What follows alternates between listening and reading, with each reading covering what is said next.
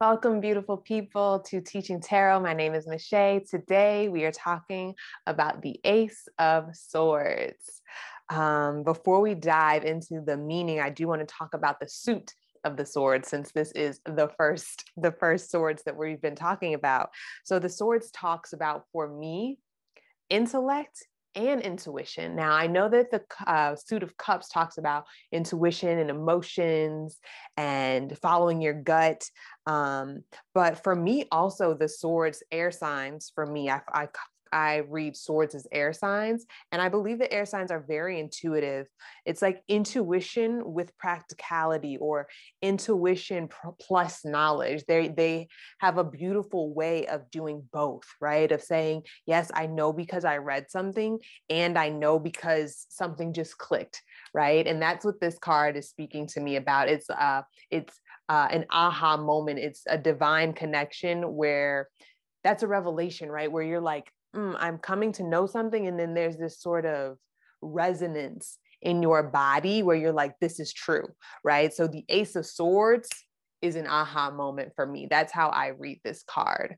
Um, as a person, if this comes up when you're saying, uh, if you're speaking about someone and they come up as the Ace of Swords, this is someone who might be in a position to follow their first mind. Um, this is someone who acts and thinks quickly. Um, someone who is quick with their words, especially if it comes up with the Knight of Swords, right? Or uh, a, a, a, wand energy, fire energy. Um, before I get into, I was about to get into the symbolism. Let me roll it back. So yeah, as a person, this is someone. Ooh, and um, I'm noticing here there's a math equation here as well. So they're just good at putting things together giving me Page of Swords energy as well. Okay. As an action, um, this card is asking you. Mm, right? I, I'm just feeling this sort of snapping energy, right? It's this slow unfolding, things just coming together from different modalities. Um, so if if this is coming out as a, as a, how do i the advice right? If the advice is ace of swords the advice is to take what you know and um, pull on things from different modalities other skill sets. If you used to study architecture and now you're a doctor pull on that architecture stuff and maybe you can come up with a new solution from these other modalities. I hope that makes sense. Um, as a situation the ace of swords the situation might call for you to um, speak quickly, right? Your time might be limited. So you might need to be able to articulate yourself well, think quickly, right? Again, intellect is the swords. For me, the intellect plus the tongue, because sometimes the swords, and I did bring out another one, this swords card in the Spellcaster's Tarot speaks to me about a fiery, a, a quick tongue. In this in this deck, the swords are fire energy, but I don't mind because I also think the air signs are also very quick. Air and fire understand each other.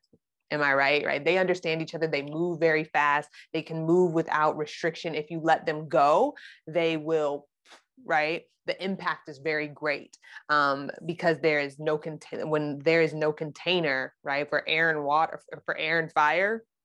Okay, when those two get together, right? So this is air and fire energy for me, a sharp tongue, a witty tongue, right? This person might also be witty. Um, now let it let's get into the symbolism. In particular, the Light Seers Tarot, the swords are always accompanied by these ravens, I believe, which I love.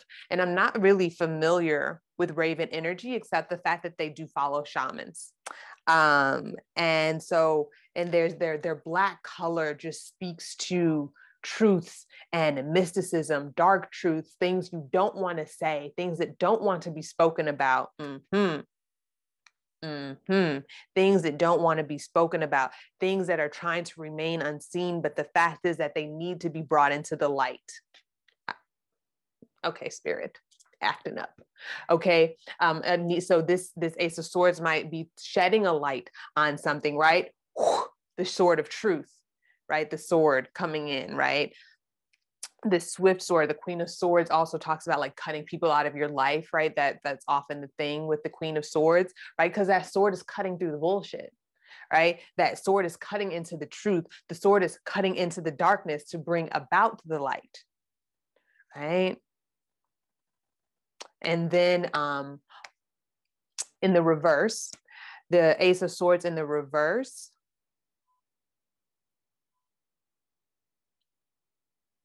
uh, mental regression right? So going back to old ways of thinking thinking that we're not um, productive right? And the sort of reversal of this is regressing regressing back deep into the self in a bad way. I don't know why i'm reading this like this because now it's getting giving hermit energy but it's like regressing back into the self in this sort of separation right?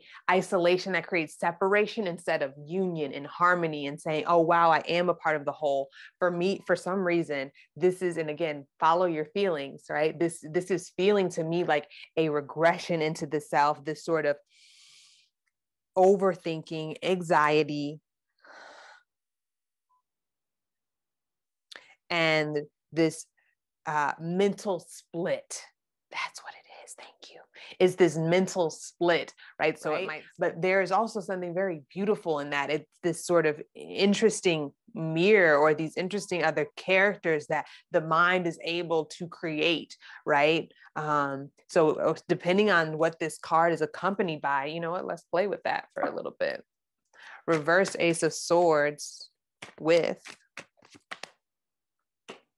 Mm-hmm. Beautiful. Ten of Wands which talks to us about releasing baggage, about um, letting go of projects that no longer serve us.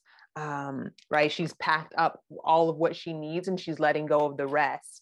So, paired with the Ace of Swords in the reverse, this mental split, um, there might be a sort of cosmic breaking, right? This sort of big bang of the mind, where what, what needs to be let go of so that we can come back together. And that's what the Ten of Wands is speaking to us about. What do I need to let go of so that I can come back together, so that I can be in a passion filled life, in a sensual filled life, in a life that is governed by what I want to do and not what I should be doing.